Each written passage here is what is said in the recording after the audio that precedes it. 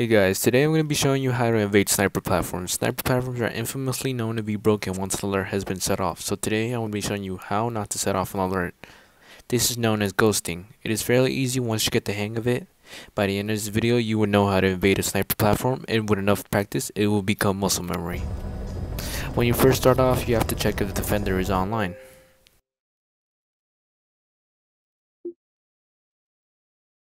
Once you do that, this will make it easier so that you don't have to worry about anybody coming. Now selecting FOB, the higher the level, the better the rewards. Looks like all of his platforms are sniper platforms, so I'm gonna choose the highest level one.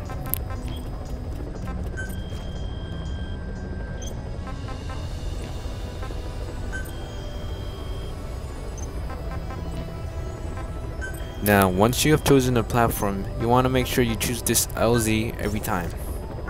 Heading to FOB. As you can see, I'm using Snake, but I'm going to switch him out for a 2x multiplier soldier for more espionage. Alright, now choose a camo that will blend in metal or concrete surfaces. Now, equipment is important. You want to be prepared for any situation. For these sniper platforms, you must equip magazines. This is useful for distracting enemy soldiers.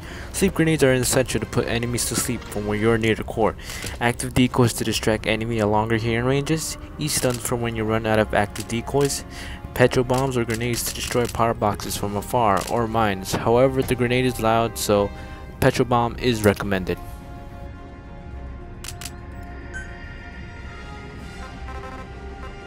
Now for the items. Items are the most important for any FOB invasions. NVGs are a must. If you don't have NVGs equipped, equip it. Noctocyanin is very very important. Without this, it will make it 10 times difficult. Pentazemin for accurate shots. And the box, which is an essential. If a camera spots you, you hide in the box until it turns away from you, then keep moving. It is the only way to escape a camera, and UAVs will ignore it as well. Now for the weapons. I recommend a tranquilizer so that you put enemy soldiers to sleep. I recommend the Berkov or the Berkov TB. Any tranquilizer with a suppressor and a low resource requirement would do. Never use the stun gun because they are loud and even with a suppressor enemies will hear it from a long range. Once you get better, resources and GMP will not be a problem. Now, for the primaries, I recommend the S1000 Stun Grade 7 or the S1000 Slug. The shotgun is always a one-hit stun but takes up a decent amount of precious metal. I use the Slug for taking out UAV silently without alerting enemy soldiers. DMG weapons are loud, even with a suppressor. If you miss a shot, enemy soldiers will definitely hear it and will cause the P to set off an alert to alert the defender. If not, it will make the whole trip difficult. Now, for the second primary, I recommend a suppressed tranquilizer sniper. I use the AM non-lethal because of the low resource requirements. Tranquilizer distract enemies if you shoot behind them. Basically, it's a magazine that you can shoot. That's it for now. Now on to the FOB. You can choose when you want to invade. I usually invade at daytime for the espionage points multiplier. Thanks to the camo, enemies will now have a lower visibility of you, so it's harder for them to spot you at long ranges.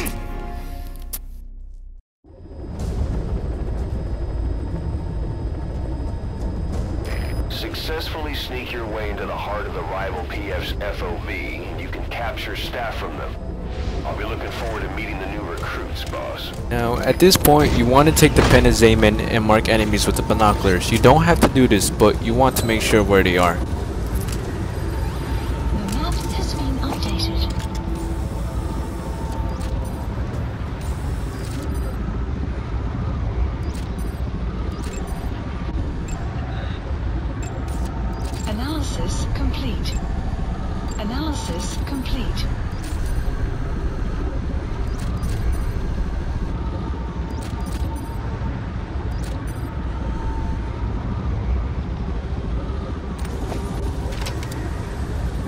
I shoot here to attract this guy's attention, and then I'll spawn. Now when you first spawn in, run up the stairs. It takes a few tries to perfect, but because I don't have the athlete ability, transparency wears off faster. You must dive at a certain point once your transparency wears off.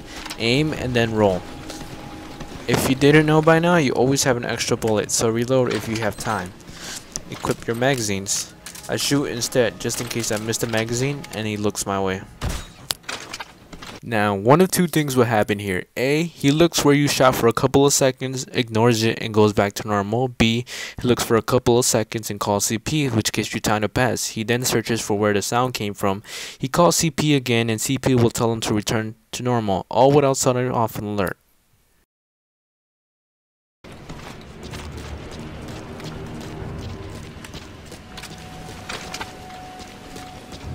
Now at this point I start rolling because I have a couple of seconds to pass before he turns around and if I'm not prone he'll be able to spot me.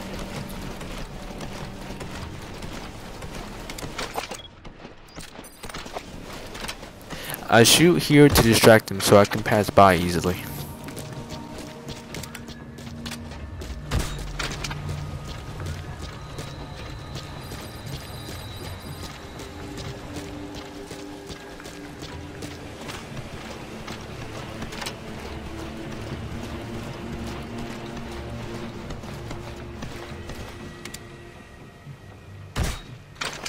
Now, there's usually a security camera here, so wait for it to turn around. Security cameras can only see at a range of 20 meters, so at 21 meters you should be fine. Caution, rain approaching.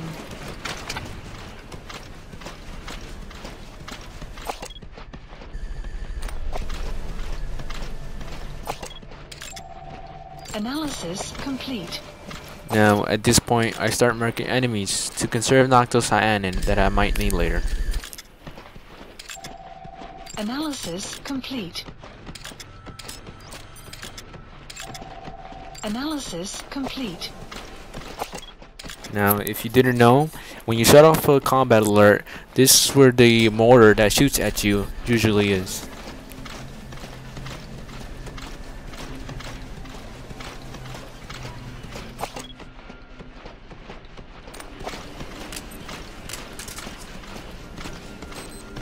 Now, I equip the magazines because I know there's going to be a lot of enemies there and I need to distract them all at once.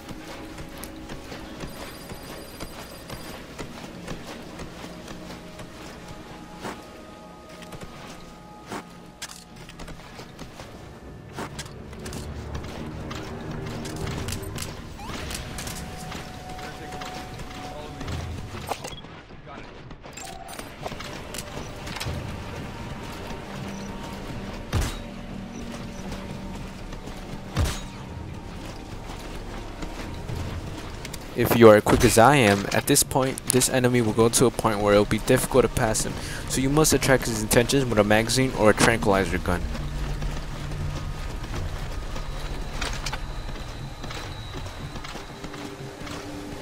Up there with the two rails is where he'll be. If he's there, he'll spot you even if you're prone. If he is there, tranquilize him. No one will come check on him. However, it is a risk because of the UAV that passes by. CP, this is Zone 4. Heard a noise just now. Approaching to investigate. Over.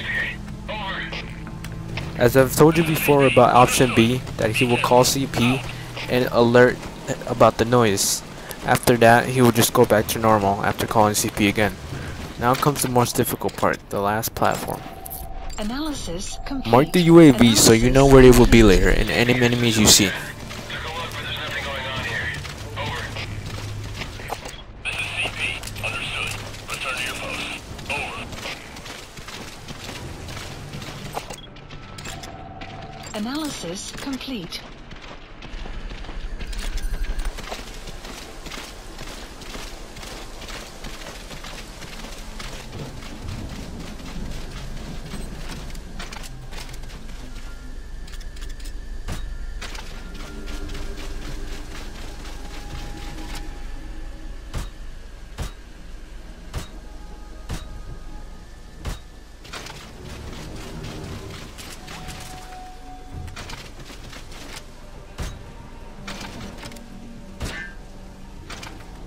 Now wait for the UAV to pass by so that you can tranquilize anybody who's here, otherwise the UAVs will spot them and not move, making it otherwise more difficult to reach the core.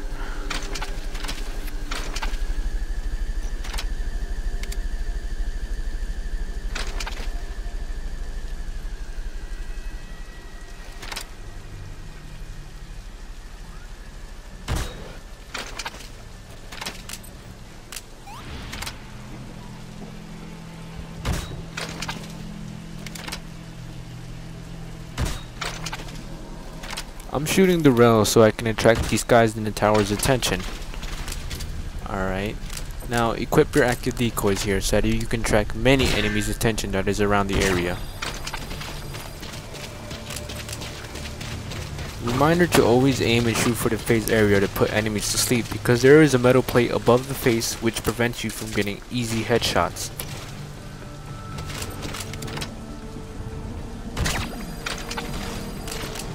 Now I equip the shotgun to destroy the UAV. Now since every shot slash pellet hit, nobody will hear me shooting down the UAV. Now watch out for the sensors since they will alert the whole base and go to alert status like I do here. So don't trip them like I do.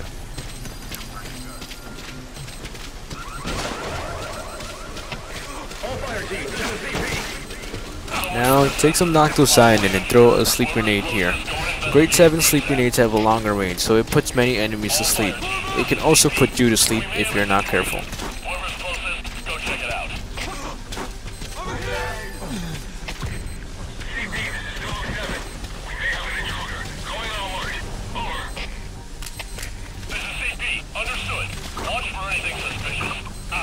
Sometimes there's enemies below, so I throw some sleep grenades here in a second.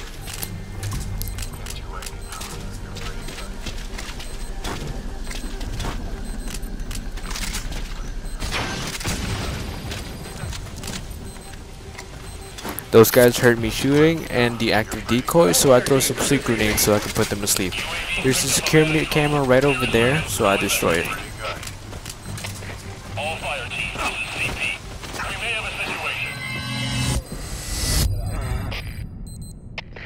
accidentally put myself to sleep. Now I equip the grenades because some people like their sector customized and kill people instantly that pass by.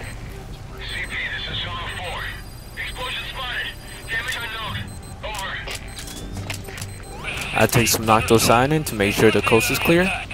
There's usually a security camera here so destroy it and watch out for mines on the way to the core.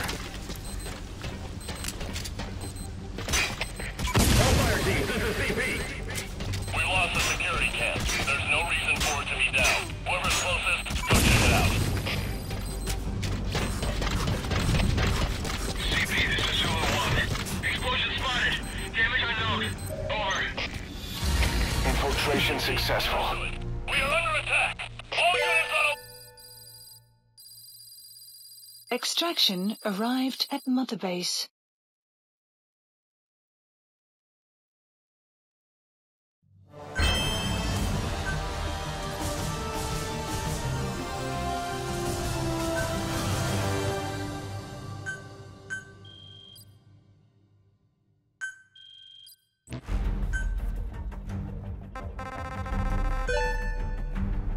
Is crucial that you lock your S++ or S plus soldiers, or else if someone perfect steals your FOB and reaches the core, they will get those soldiers, just like I did.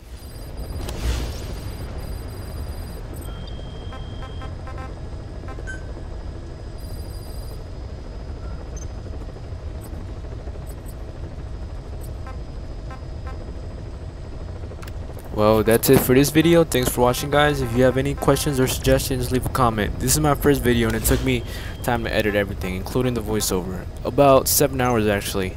I hope you learned a lot from this video, and I'll see you guys in the next video. Peace.